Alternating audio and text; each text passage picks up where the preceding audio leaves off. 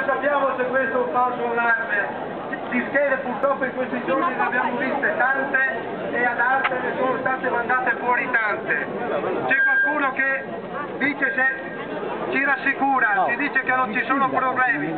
Oggi forse vedremo se queste rassicurazioni saranno vere o saranno l'ennesima bufala che a un certo punto ci viene propinata. I dubbi purtroppo ci sono, dubbi che sono tutt'altro che, eh, come si dice, irreali. Eh, la larga interpretazione che viene data al piano sociosanitario regionale che viene eh, praticamente eh, interpretato a seconda di quelle che sono le, le convenienze non è una cosa che ci rincuora. E tantomeno anche la costruzione del nuovo ospedale tra Est e Monselice, un ospedale che viene fatto in collaborazione tra pubblico e privato